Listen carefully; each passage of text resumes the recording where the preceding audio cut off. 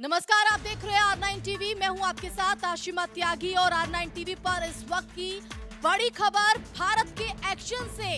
बौखलाया पाकिस्तान। तो पाकिस्तान ने ballistic missile Ghaznavi का परीक्षण किया है। तो आपको बता दें कि पाकिस्तान जो है, वह भारत के एक्शन से लगातार बौखलाया हुआ और एक के बाद एक इस तरह के कदम उठा रहा है। तो बैलिस्टिक मिसाइल गजनवी का परीक्षण अब पाकिस्तान की तरफ़ से किया गया है, जो सतह से, सतह पर वाली है बैलिस्टिक मिसाइल। तो 290 से 320 किलोमीटर तक का है मिसाइल की मारक क्षमता और 700 किलोग्राम विस्फोटक ले जाने में सक्षम है गजनवी मिसाइल। तो मिसाइल के परीक्षण के लिए कराची एयर स्पेस बंद किया गया था, ऐसा माना जा रहा है। तो मिसाइल परीक्षण पर इमरान खान ने टीम को बधाई भी दी है। तो जम्मू कश्मीर के मसले पर दुनिया भर से मुँह की खा चुका पाकिस्तान बौखलाया हुआ है और लगातार जो धमकी है, वो उसकी तरफ़ से युद्ध की दी जा रही है। और अब इसी बीच गजनवी मिसाइल का परीक्षण पाकिस्तान की तरफ़ से किया गया है, जिसके बाद पाक पीएम इमरान खान ने अपनी टीम को भी बधाई दी है और